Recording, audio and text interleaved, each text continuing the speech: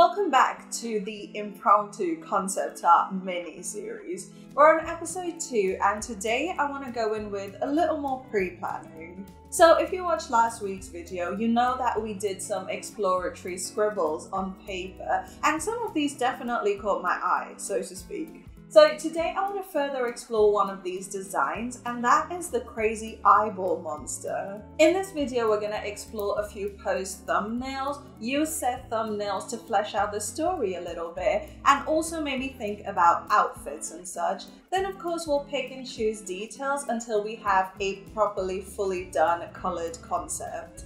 I'm really enjoying this horror vibe these days, so if you are as well, then give this video a big thumbs up and subscribe to my channel for more art content. You can always come say hello on social media, links are down in the description, and that's about everything. So let's dive in.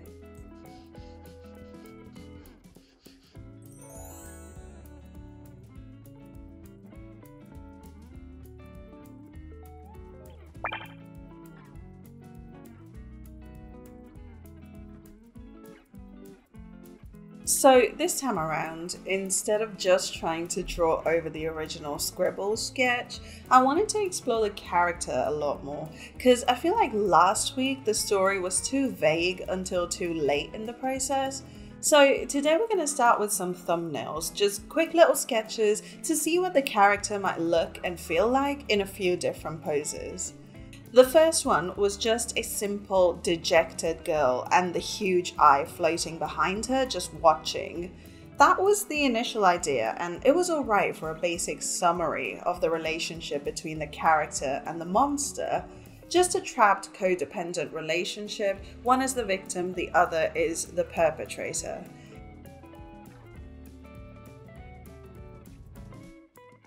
Then I thought to explore this relationship what if the girl actually thought to take the blindfold off? How would that change the relationship?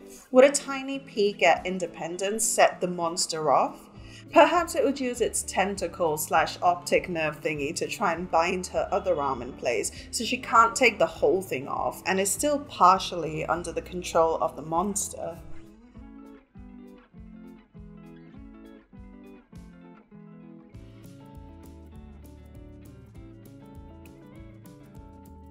For the third thumbnail, I actually wanted to explore what it might feel like if she felt an intense sensation, perhaps holding fire in her hands. I feel like that might make the monster happy, like a whole I set myself on fire to keep you warm type relationship.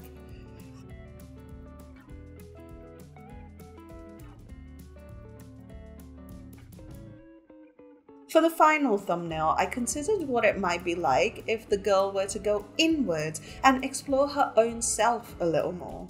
Learn about who she is as an individual, her own inner power and such. I think that might make the monster truly afraid because it means she doesn't need to escape it in order to feel independent, and the monster then has no hold on her. Alright, I think we understand most facets of this relationship. Let's now explore some outfit choices. I immediately thought of how it might be if she were wearing an armor that was starting to fall off her to reveal her true self. I actually really liked this, but for the sake of exploration, the next one was a more flowy dress type deal. I immediately did not like that one because it's a little unrelated, honestly. Finally, I experimented with just some jewelry and that seemed super fun as well. What if we grab the jewelry and put it under the armor? Like deep under the heavily armored facade, there's just these delicate, pretty jewels. Alright, I think I know what we're gonna draw. Let's put together a proper concept now.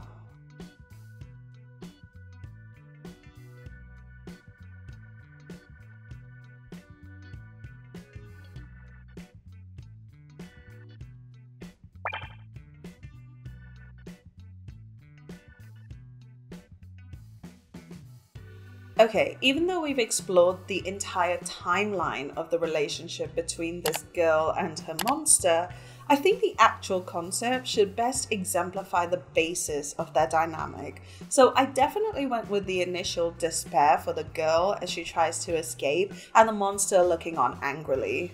I also thought maybe her hair is what the monster attaches to. The hair is usually symbolic of pride and ego, and I do think a lot of us have very bruised egos that tend to act out in angry ways in order to try and protect us.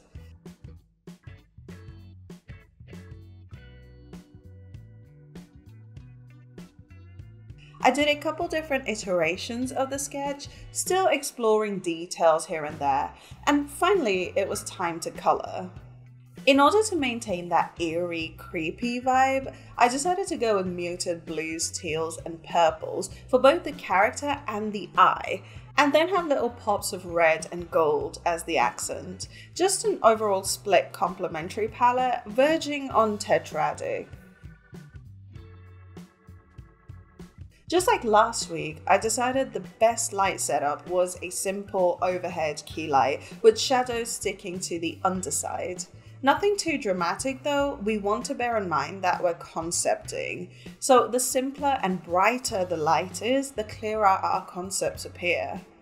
And with the base tones and values in, it is time to refine.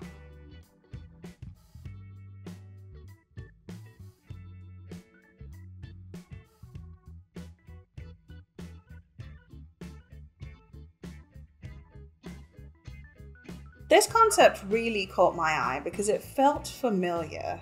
I constantly struggle with the paranoia of being watched and judged, even if I'm literally just sat around doing nothing. And I'm sure a lot of you guys have felt this way as well. That sense of nothing you ever do being good enough because there is an angry voice inside your mind telling you you're doing it wrong.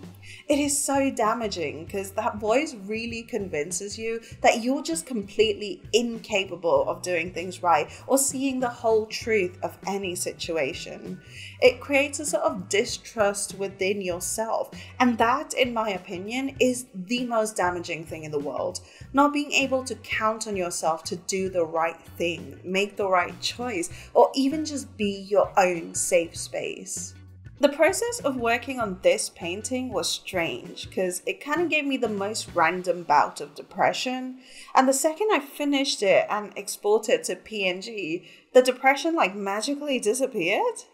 I don't understand it. Is this art therapy? It sure felt cathartic.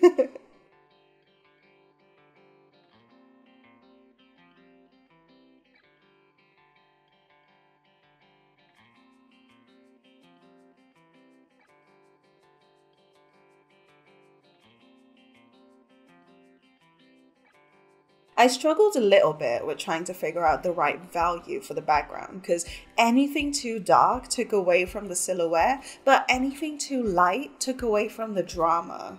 But finally, after some specular highlights and final details, here's our second concept piece Paranoia. What do you think?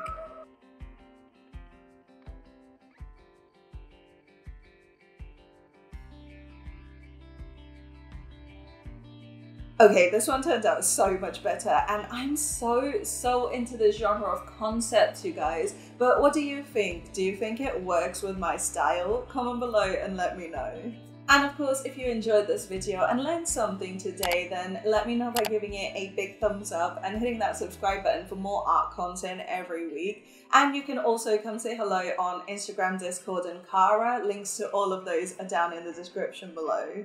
And if you enjoy my work and would like to support it and grab extra rewards every single week, such as all of my art in 8K quality, all the step-by-steps for each of my paintings, the speed paints from start to finish, my complete custom brush kit, and of course prints of my work, it is all up on Patreon. Your support on there really allows me to keep making all this cool content for YouTube. So I'll leave a link up here in the cards and in the video description. And thank you so much for checking it out. Alrighty, you guys, that's about everything for this video. So thank you so, so much for hanging out with me today. I really hope you've enjoyed it as much as I have. In case you missed last week's video, we did a few exploratory concept sketches as well as a quick horror concept. So um, I definitely think you'll enjoy it and learn something from that video. So I'll leave it here in the outro. Make sure you check it out and I'll see you guys on the next one. Bye!